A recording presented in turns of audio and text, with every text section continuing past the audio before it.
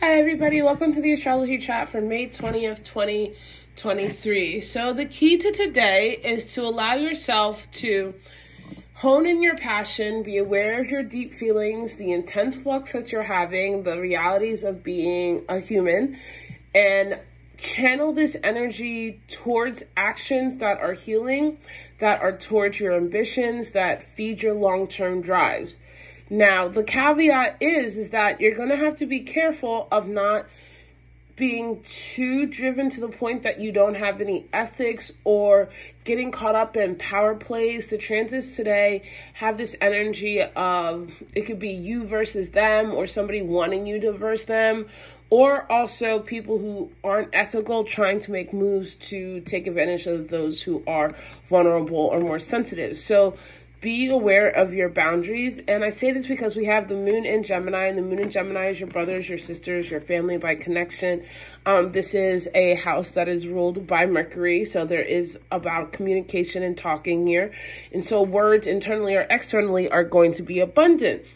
And we have the moon squaring Saturn, which can give a lot of tension, right? There's this, you want to just be free, right? But when Saturn is in the mix, there has to be some form of discipline. And this is Saturn in Pisces.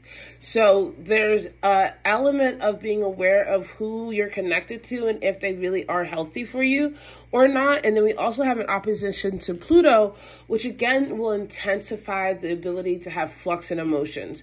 So if you're just feeling really intense, that's okay.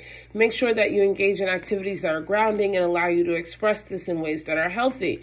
We also now have Mars that is in Leo, and Mars is going to be in Leo for the next seven weeks, and Mars is going to be here until July 10th. And so this is a really good placement, right? If you use it well. Mars in Leo can be uh, a desire to get things done, right? This is a fire sign in a fire house. And so when you add the planet of action to drive, to defending, to you know, going to war or taking action around what you want in the house of Leo, in the house of the lion, in the house of the sun, of courage and wanting to be center stage and being a leader, whoever has this energy natively or during this transit, you can really tap in to getting things done, right? But you have to make sure that the actions that you're taking are grounded in a healing way and are not reactionary. So this is a lot of fire that's available in the sky for you for the next seven weeks and use it mindfully. Use it to heal. Use it to warm yourself. Use it to light your dark places. It doesn't necessarily have to be an inferno maybe it's a controlled burn. I love you guys so much, and I'll see you tomorrow.